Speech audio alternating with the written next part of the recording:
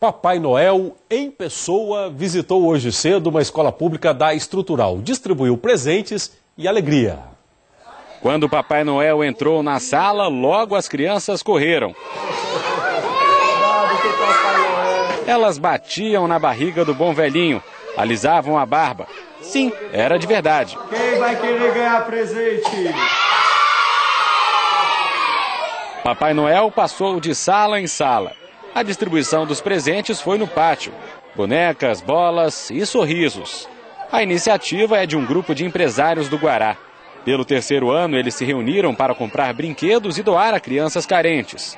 A escola classe 2 da estrutural foi a escolhida dessa vez.